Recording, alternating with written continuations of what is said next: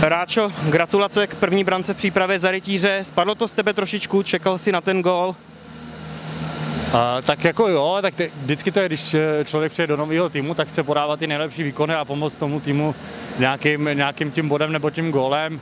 Zas na druhou stranu úplně nějak mě to netížilo, furt je srpen jako a my, my jsme ve fázi přípravy a, a my prostě začínáme 12. září tuším a prostě do, do toho to směřujeme. Oproti zápasům s Budějovicema, kde jsme dostali hodně branek, se dneska sice nepovedlo chytit začátek, ale pak jste z Plzní hráli vyrovnaný hokej docela. Čím to bylo, že tam byly ty dva výpadky, kdy vám to tam Plzeň nasázela?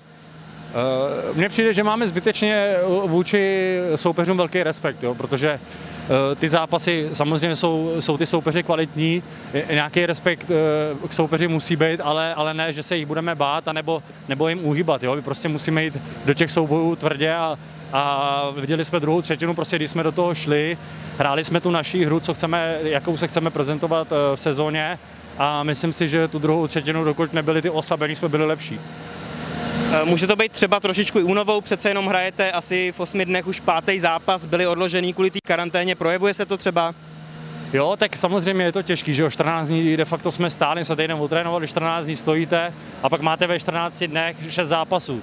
Je to náročný, ještě je to horko, takže to, to prostě dubluje, ale zas na druhou stranu říkám, furt je to příprava a člověk, když se naučí hrát v té únavě, tak eh, pak, pak v té komfortní zóně se cítí úplně dobře. Tou dnešní porážkou jste ztratili i teoretickou šanci na postup ze skupiny Generali Česká kapu přes to utkání s extraligovými soupeři s kvalitníma týmama. Jak to hodnotíš, tuhle tu možnost?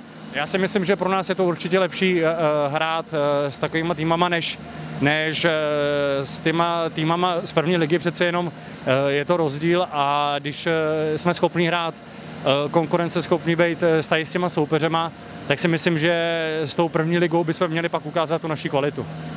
Pátek vás čeká ještě utkání na Spartě, tak budete aspoň na závěr té skupinové fáze chtít zopakovat tu, řekněme, senzační výhru z toho prvního zápasu?